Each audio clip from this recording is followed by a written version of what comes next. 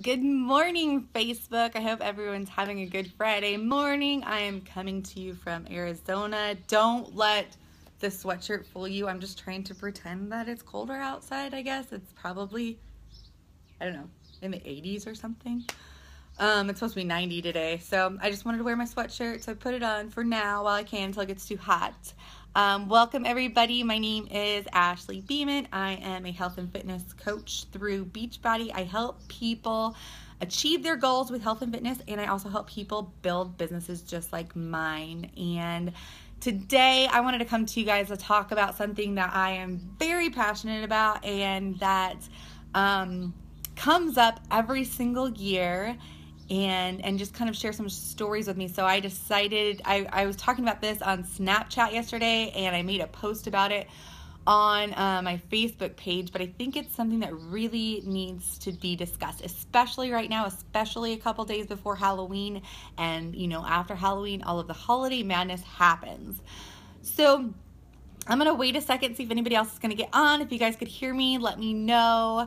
Um, I don't want to keep you too long because I know that everyone has is very busy, and um, I want to honor your time. So, so what I want to talk about today is reaching your goals through the holidays, not letting the holidays win, not just like shutting down for two months out of the year and then waking up on New Year's Eve feeling like crap, gaining, you know, 10 to 15 pounds, and just, you know, a lot of people, once Halloween hits, they just shut down and they say, you know what, I'm not, I'm going to be too busy. I am not going to focus on myself through this time. I'm going to worry about everybody else. I'm going to eat whatever I want because I'm stressed out. I'm going to drink whatever I want because I'm stressed out. And I'll deal with it all on January 1st.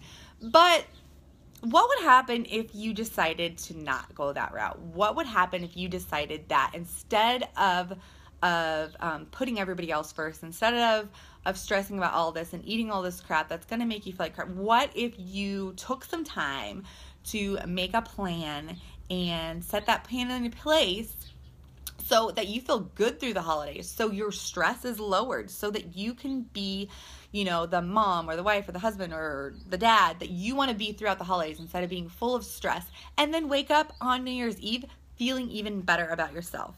I can tell you guys uh, a few stories about about me um, before I became a coach, before I was a mom. I remember um, before we even got married. I remember the the Christmas before before that we got married in May, and this was Christmas, and um, basically had let myself go. Basically ate everything, drank everything under the sun.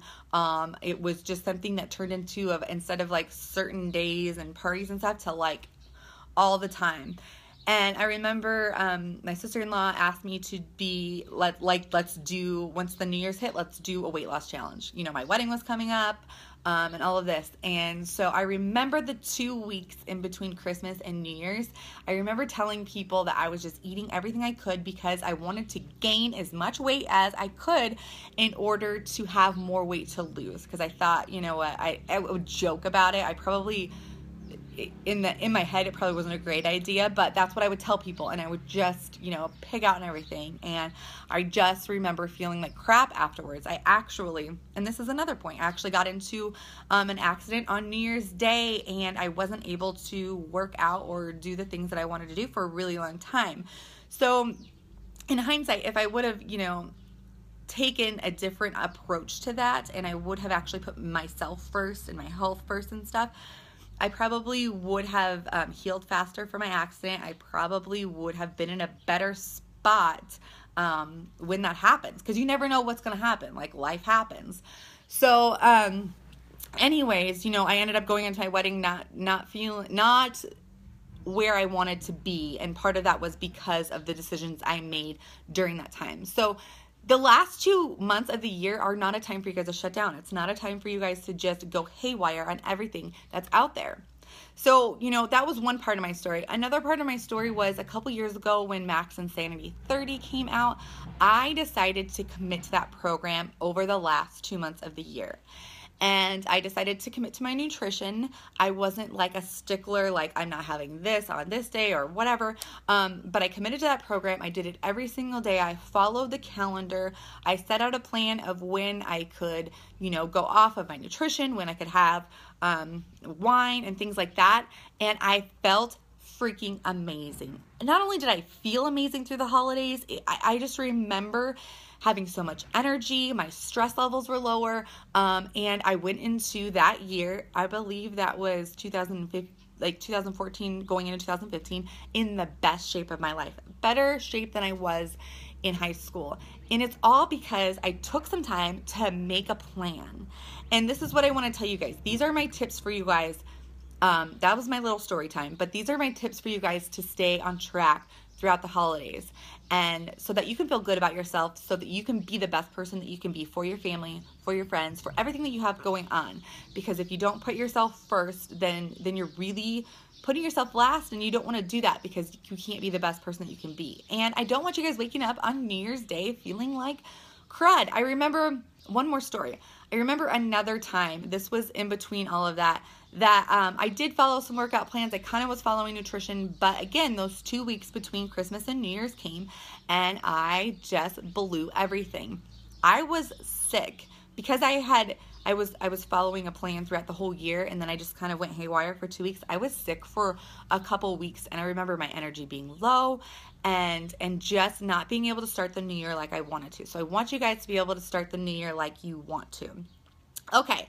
So here are my four or five tips that I have. I, I kind of made notes so I would stay on track um, for you guys to reach your goals by the end of the year because there's still time to reach those goals that you set for 2016. There's no excuses. You guys have 60 days. That is so much time. And I'm saying going off of Tuesday. I'm not even saying now. You have a couple more days till then. Um, but the first thing I w- want you guys to do is I want you to set two two or three goals that you want to achieve during these 60 days. Maybe it's that you want to get in all your workouts. Maybe you want to make sure and um, get your water intake in, or maybe you want to lose five pounds. Maybe you just want to maintain your weight, and that is okay. Maybe you just want to show up every day and be the best person that you can be. I would pick two or three goals that you want to achieve by the end of the year, and then I want you to create a plan. I want you to get out, um, I'm going to show you guys my workout calendar that I just printed off of Beachbody On Demand. This is the current workout calendar that I'm doing, you could print out a blank calendar. You could actually make your own calendar, like on a piece of paper, just draw the lines in for two months. So I want you to create a plan with your exercise. Um, what will you do for exercise every day? What is maybe something extra that you'll do? Um, for instance, I'm gonna I'll share with you guys my plan. Right now, my plan is to finish out hammer and chisel um, and to get um, 10,000 steps per day. So that's an extra thing that I'm adding into there. And I have all of the days that I work out. I have them all written down. I have all of my um my days where I have uh, rest days or or off days and things like that written in this 60 day plan. And then you need to make a plan for your nutrition. What kind of nutrition are you going to follow? What are you what guidelines are you going to set for yourself? Because I think that's important. No, I'm not saying you need to restrict yourself, but I'm saying you need to have a little bit of guidelines during this time because there's going to be so um, many opportunities for you to go off your nutrition that it can slowly just creep into your regular daily habits, and you don't want that to happen. So, find um, a nutrition plan that works for you, that's easy for you. I have mine. I'm not going to really share with you guys what I'm going to be doing, but you know, I, sh- I I picked how I will follow my nutrition plan throughout these 60 days. I also picked like for instance for a time instead of not putting any, you know, I'm going to I'm going to allow myself to have wine once a week. Um, instead of not saying anything and then having wine every single day, that's not going to get me to where I want to go. So, kind of like I said, make a plan. You could even write. I remember I did a um, a challenge right before I went to Cancun, and I took out the calendar and I wrote, okay, these are the days that I can have wine. Um, these, you know, these are the days that I'm following my nutrition. This is the day I'm going to have off for my nutrition. And that's the second thing is, or the third thing is to choose the days that you are going to allow yourself just to live. Um, and have no guilt about it. So maybe you are going to like on Thanksgiving, like Thanksgiving weekend. For myself, I have no restrictions. I I'm not going to follow any certain plan. I'm going to enjoy myself. Yes, I'm going to be mindful, but you know, put those in the calendar. That way you know that you're not just going to blow it on Thanksgiving weekend and it's going to follow it all the way until Christmas or New Year's because that's what can happen if you don't create a plan. Um, so you definitely want to create a plan. The fourth thing that I recommend doing is finding a community, finding a group of people that are doing the same thing that you are doing, that are working towards the same thing you are. Because there is going to be a lot of people that aren't just not, that are just going to, like I talked about before, just going to shut down and they're not going to work towards any of their goals over the, over the holidays because because it's the holidays and that's their excuse. Um, but you are making it a point to make yourself a priority. So there are people out there that are doing the same thing. You can find a community where you're going to get account- accountability, support and motivation and and you know, you're kind of it's kind of like surrounding yourself with those people so that the other people that are not doing what you're doing isn't aren't going to bring you down. Um, that's super important. I know for me, when I went through Max 30, if I wouldn't have had the support I had from my private Facebook group and my wellness groups, that I, I probably wouldn't have has shown up every day like I did. So find a community of people um, to give you support and accountability and to help you get through these 60 days. That is super duper important.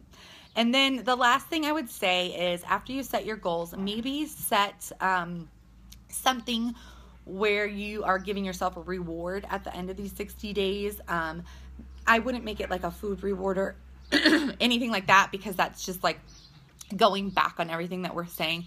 But maybe make it a reward where you're going to give yourself an hour massage or you're going to buy that outfit you wanted to wear on New Year's Eve, you know, that red dress or that black dress or whatever it is. Um, but find something that excites you and that you can push towards. And if you hit that goal, that you will get that and you will spoil yourself with that. So, those are basically the five tips that I have for you guys um, today. I've gone a little bit longer than I wanted to. I am. Um, opening up my wellness group and I'm going to actually keep it open for 60 days. I usually only do 30 day increments, but since this is a really tough time for people, I am going to get be getting everybody into this group this week so that we can support each other. We can find the right exercise program for you. Instead of you having to come up with this plan that I talked about, I can basically come up the, with the plan for you. Find out the right program that is for you find out the right nutrition plan that is for you and set out the plan with you. So um, my coaching is free. When you join one of my groups, I can help you with that plan so it even takes less of that off of you. And um, it's really going to be a really great group where you're going to be able to just rock out the holiday season. It's not going to take extra time, I promise you.